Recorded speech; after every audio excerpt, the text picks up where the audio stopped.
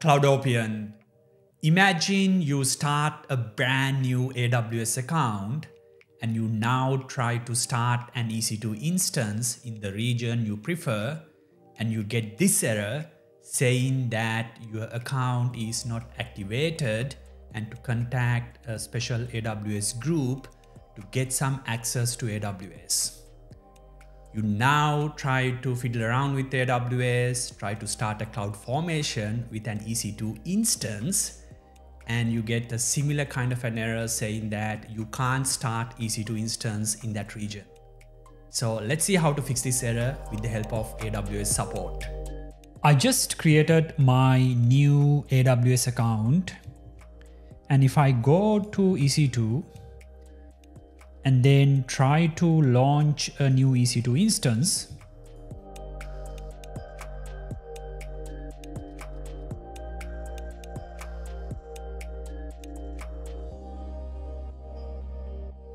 I get an error message saying this account is currently blocked and not recognized as a valid account. It also asks me to contact aws-verification at amazon.com to get this one fixed. It doesn't matter whether you try to launch an EC2 instance uh, from EC2 console or if you go into your CloudFormation and then start an EC2 instance. So in my case, for example, I created a network, try to start an EC2 instance. It still gives me an error saying that my account needs to be validated.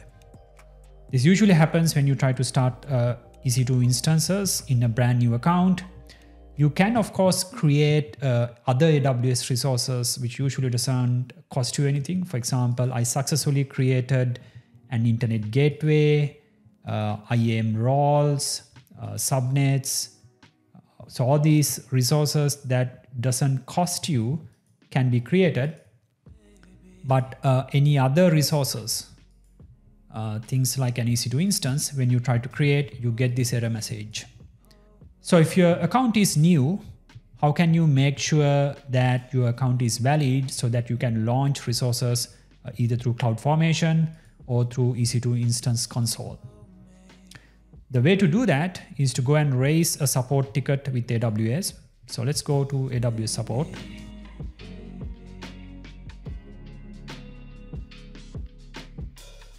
So right now, this is a brand new account.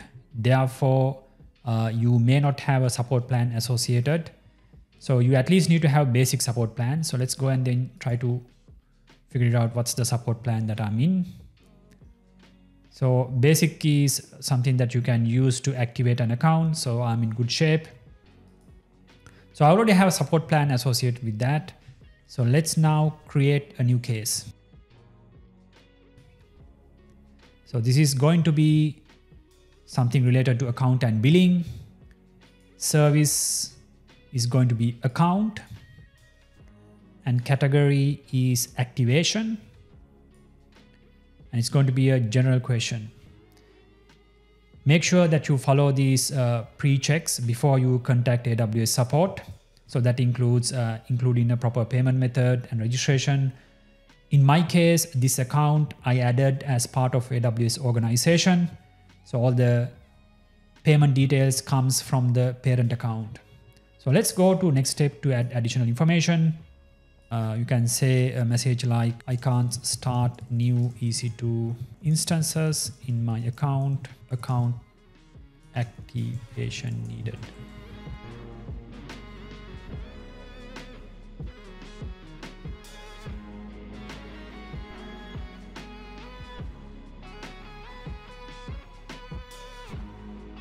So here I give an error message why I can't uh, create EC2 instances, the error message it gives. And now you need to go to next steps. You can click contact us. And the best way to contact us is through chat. They are quite responsive. Click submit. And this will start a chat window. So right now I'm waiting uh, for support team to uh, reach out to me it can take some time because right now I'm in basic support plan. So the responsive time is not that great. but still uh, for account activation, they usually respond very quickly. So leave it at least about 15 minutes uh, before someone is going to take this. So we start a conversation with AWS support and the conversation went like this. You introduce yourself and they ask what's the problem. In my case, I say, hey, I get this error message saying that I can't uh, activate the account.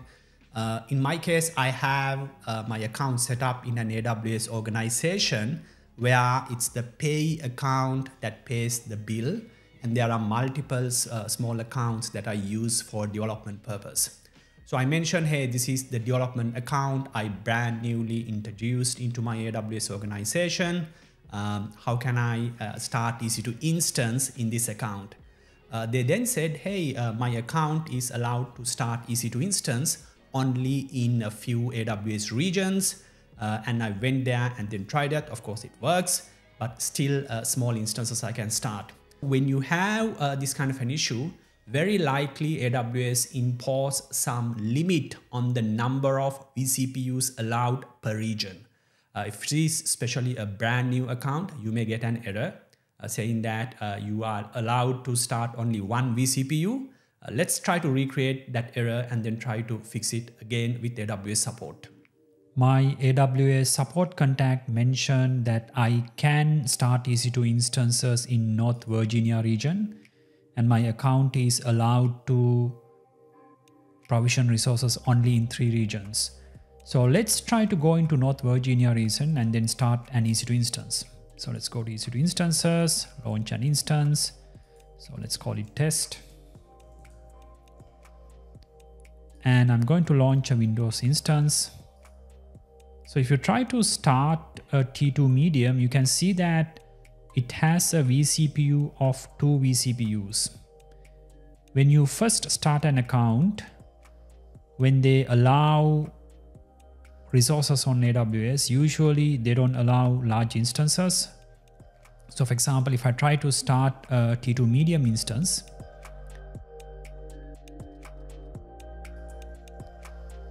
it's going to give an error message saying that you have requested more vCPU capacity than your current vCPU limit of one. So the reason for this is uh, you create this account a few days ago and uh, AWS for security reasons don't allow you to start large instances, which is good. So even if you try to uh, retry this task, it's going to fail. So let's try to edit EC2 instance config. So it's a test instance, Windows machine. So instead of starting a T2 medium instance, so let's start a small one with one vCPU. So it could be a T2 small instance or let's go for T3 small instance. It still has two vCPUs, too much. Um, let's try to start a T2 small instance. So it has one vCPU. That seems good. Uh, all the configurations are like before. So let's now try to start this instance. When I do that, it's successfully launched. So what you need to do is to leave this one running for some time so that the account get warmed up and then uh, you can start uh, large instances. You saw how that error happens. Again, the process is similar. You reach out to AWS support and then say, I said, hey, uh, can you activate my AWS account on the other regions I want to operate? Uh, they said, yes, they can, but they give a few days uh, to wait uh, until they can activate that account. So the conversation went like that. Uh, and they asked me to contact AWS a special email address, aws-verification uh, at amazon.com. I told them that I already contacted them, but there was no response. Maybe uh, I lost the email somewhere. And then they say, okay, wait a second. Uh, we will raise the uh, issue with that verification team and come back to me. A few days later, uh, they already resolved this issue and I got in my support console saying that the issue is uh, already fixed and I can start EC2 instances in Sydney region. You now know how I got this issue fixed. Uh, if you have a similar issue, uh, feel free to reach out to AWS support under basic plan You don't need to have developer or enterprise plans to uh, get account activation support. Uh, they are very responsive and you can get uh, your account activated in the region you want. Hopefully you enjoy this video. Remember to thumbs up and subscribe to the channel. See you next time.